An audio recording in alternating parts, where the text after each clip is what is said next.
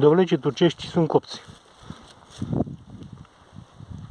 Ne dăm seama după faptul că la bază codița a început să se usuce.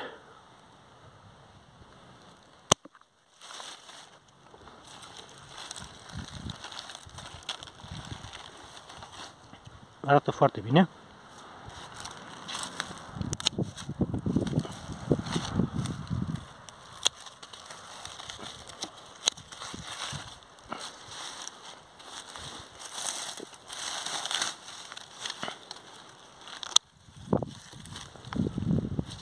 Chiar dacă sunt mai mici, sunt foarte buni în plăcintă sau copți la cuptor.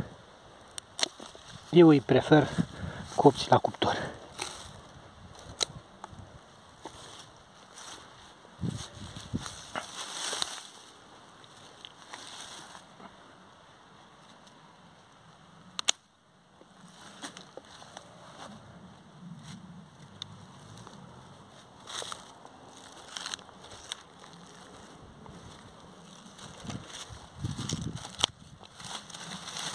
Sunt și mai mici. Lipsa apei și a spus cuvântul.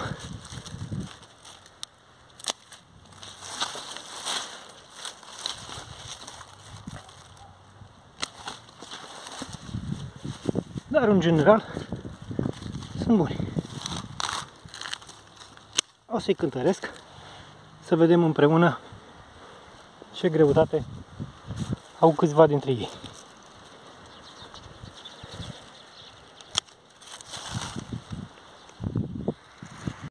Aceasta este recolta totală de dovleci turcești. Sunt o cantitate mulțumitoare.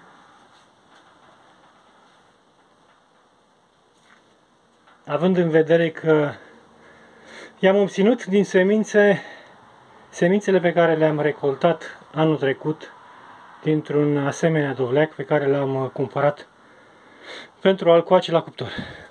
Haideți să cântărim câțiva să vedem ce greutate am. Să începem cu unul mic.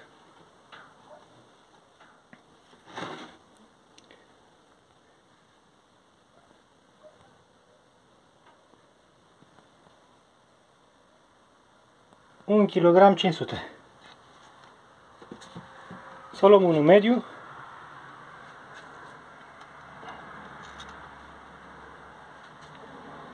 Două kilograme 760.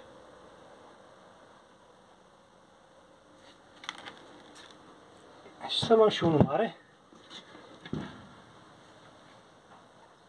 Să-l cântărim.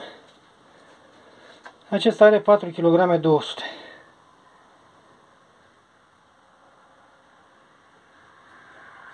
Dacă acești dovleci ar fi avut apă suficientă, cu siguranță dimensiunile și greutățile ar fi fost mult mai mari. Dar, așa cât a rezultat, dintr-o dezvoltare doar din precipitații, fără suplimentare de apă, eu sunt mulțumit, mă declar mulțumit. Este ultima recoltă pe care o strâng din grădină în toamna aceasta. Au mai rămas doar roșiile sherry care se încăpăținează în continuare să producă mici fructe. Atât pentru astăzi, până data viitoare, multă sănătate și aveți grijă de voi!